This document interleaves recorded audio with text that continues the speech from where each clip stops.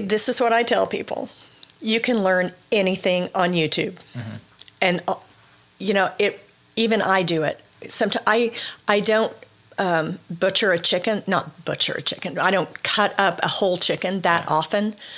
But when I do, I have to refresh my memory by Yeah. going to a YouTube video. And so that's one way to learn how to cook. I know there are a lot of cooking shows out there. I don't watch them because I just don't have the time.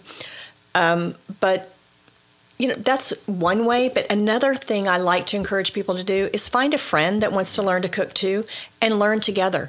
Choose one cookbook and say we're going to cook 10 recipes out of this book and do it that way. And that Yeah. way you're learning with someone or form a little dinner group you know and do and, and i know people that do do that. A lot of couples do that.